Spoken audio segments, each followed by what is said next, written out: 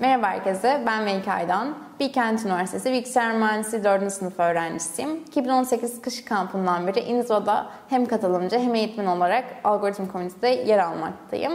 Ee, bu videoda sizinle e, Depth First Search, DFS konusuna bakacağız. Ee, DFS'de e, bizim notlarım yine her zamanki gibi, graflardaki gibi e, not ve edge'lerimiz var. E, biz bir nottan başlıyoruz. Mesela burada gösterildiği gibi birden başlanmış. E, bu birin olabilecek bütün e, çocuklarına gidiyoruz. Mesela birden ikiye gidiyoruz. Sonrasında e, ikide, ikiye geldiğimiz zaman tekrar çocuğa gidiyoruz. Mesela burada dörde gidiyoruz. E, veya adjacent'ları da diyebiliriz çocuk yerine buna. E, sonrasında mesela e, 2'nin başka adjacent'ı kalmadı. O zaman ne yapıyorum? Diğer adjacent'larını geziyorum. Mesela burada 5'e gidiyor. Sonrasında bu şekilde e, başka yine çocuğu kal e, veya adjacent nodu kalmadı. E, geri dönüyor nereden geldiyse. Bu şekilde olabildiğince bütün derinlemesine ilerliyor algoritmamızda. Sonrasında geri dönüyor ve başka yol başka komşuları var mı? Onlara bakıyor. Mesela şuradaki örnekte bakarsak e, yine birden başladığını düşünelim. E, birin adjacent ilk hangisi var? Mesela bu gerçi bizim nasıl implement ettiğimize de göre değişir. Ama diyelim ki ilk komşusu 2 olsun. E, birden sonra 2'ye gidecek. Şimdi 2'ye geldi. 2'nin başka ilk komşusu hangisi? E, mesela diyelim ki 5 olsun ilk komşusu. 5'e gitti. Sonrasında 5'in hangi komşuları var? Mesela ilk komşusu 4 olsun. 4'e geldi. 4'ün komşusu 1 var, 5 var. İkisine de daha önceden gidilmiş. O zaman bir daha gidilen komşulara tekrar gitmeyecek ve geri dönecek. Şimdi o zaman 4 tamamlandı. 4'te e, nereden gelmiştik? 5'ten gelmiştik. 5'in başka komşusu var mı ona bakıyoruz. Mesela 8. 8'e geldik. 8'in komşuları mesela ilk komşusu 9 olsun. 9'u gezdik. 9'un başka 8'den başka komşusu yok. 8'i de daha önce gezmiştik. O yüzden 8'i tekrar gezmeyecek. 9 tamamlandı. 8'e geri döndü. 8'in başka komşusu var mı? Evet var. 7'ye gidiyor. 7'ye geldik. 7'nin komşusu 6 var. 6'yı gezdik. Sonrasında 6'nın başka komşusu gezilmeyen komşusu kalmadı. Geri döndü. 7'nin başka gezilmeyen komşusu yok. Geri döndü. 8'in başka kalmadı. Geri döndü. 5'in başka kalmadı. Geri döndü. 2'nin başka 3 var. Bu sefer 3'e gidiyor. 3'ten sonra 3'ün başka komşusu var mı? Evet. Ona geçtik. Onun gezilmeyen komşusu yok, tamamlandı. Üçün gezilmeyen komşusu yok, tamamlandı. İkinin gezilmeyen komşusu kalmadı. Birinde kalmadı. Bu şekilde e, grafı geziyoruz. Buna e, olabildiğince derinlemesine ilerlediğimiz için depth first search deniliyor. Bu şekilde e, bütün grafı gezebiliyoruz. Şimdi fark ettiyseniz biri ilk gezdik, sonra ikiyi gezdik, beşi gezdik, dördü gezdik, 8'i gezdik.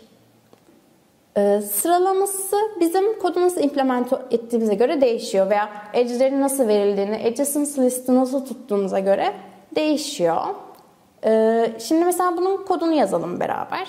Ee, daha önceki videolarda adjacent listleri nasıl tuttuğumuza bakabilirsiniz.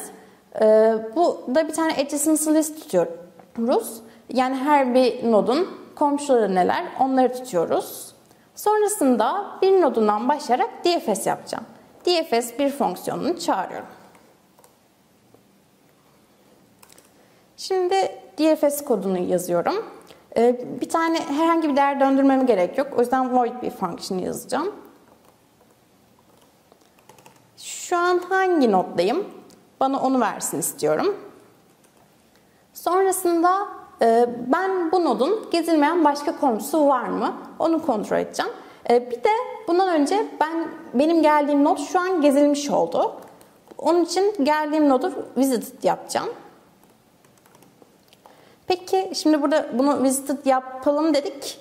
O zaman ne yapmamız lazım? Bir tane visited olup olmadığını tutması için bir tane array'e ihtiyacımız var. Ee, Bir tane boolean yapıyorum ben. Bunu integer'de yapabilirsiniz nasıl isterseniz. Veya integer yapıp ne zaman geldiğini tutabilirsiniz. Burada en yerine bir tane daha integer tutup işte buraya i artı birinci kez geldi olarak bir sonrakinden ilerletebilirsiniz. Bu sizin nasıl implement etmek istediğinize göre değişir. Ee, Bu visit array'imiz e, kaç tane node varsa o kadar uzunlukta olması gerekiyor. Ben şimdilik 15 diyorum. E, ve de bu visit array'nin en başta tamamen bütün elemanların false olduğunda emin olmalısınız. E, C++'da globalde tanımlayınca hepsini false yaptığı için ben tekrar eşitlemiyorum false'a. E, sonrasında ne yapmamız gerekiyor dedik? Adjacent'larına bakması gerekiyor. Zaten adjacent listleri burada tutmuştuk. E, bir tane e, for loop oluşturuyorum. For loop'umuz ne yapacak? Adjacent uzunluğuna kadar gidecek. O yüzden adjacent list n'in size uzunluğunda olsun ve de i'yi artırıyorum. Bu şekilde bütün adjacent'larını gezeceğim. Ee, sonrasında ne yapıyorum? Adjacent'larının visit olup olmadığını kontrol ediyorum. Ee, visited değilse yani visited and false'sa e, bu sefer ne yapacak?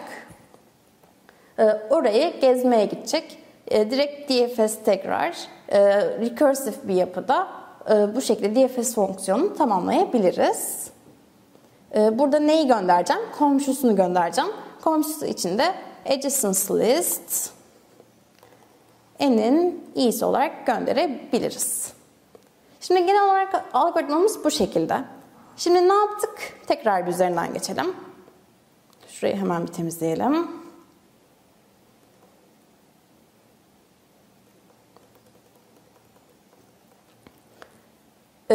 İlk önce DFS 1'i çağırdık. Buradayım, başladım.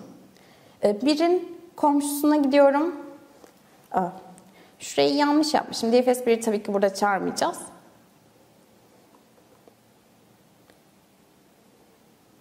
En son bütün adjacent listi oluşturduktan sonra aşağıda çağıracağız. DFS 1'den başladım. E, komşularına gideceğim. İlk komşusu 2. Buradan geldim. Sonrasında 2'nin komşularına devam ediyorum. Mesela 3 olsun bu sefer de. Sonrasında e, bunun gezilmeyen komşusuna gidiyorum. Tamamlandı. Artık geri döndüm. Sonrasında böyle geri dönerek bütün hepsini geziyorum. Peki. Şimdi bunu bu şekilde bütün hepsini gezdiğimizi söyledik. Ee, mesela burada 2'den sonra bir de 5'e gitmem gerekiyordu. Bunu unutmayalım. Bunun time kompleksitesi neler? Onları bir bakalım. Şimdi biz DFS 1'i çağırıyoruz. Ee, bütün e, DFS'in komşularını geziyoruz değil mi? Bunun için mesela şurada şu, bütün e, adjacent'larını geziyoruz bütün e, nodlar için. E, peki bunun büyüklüğü nedir? Kaç tane adjacent vardır? Tabii ki number of edge kadar. E, burada number of edge'i mesela e, nasıl göstermişiz? E, v olarak, pardon E olarak göstermişiz. E, bütün edge'leri gezmemiz gerekiyor çünkü. Çünkü bu şekilde e, bizim bu komşumuzun e, visited olup olmadığını kontrol etmemiz gerekiyor. Aynı zamanda bizim bütün nodları da gitmemiz gerekiyor. Bu yüzden bunun time kompleksi o v artı e olarak geçiyor. V burada node sayısı, e de edge sayısı. E, bu videoda sizinle e, DFS algoritmasını inceledik. Dinlediğiniz için çok teşekkür ederim. Videoyu beğenmeyi, kanala abone olmayı unutmayın. Sorularınız varsa aşağıya yorum olarak yazabilirsiniz. Diğer videolarda görüşmek üzere.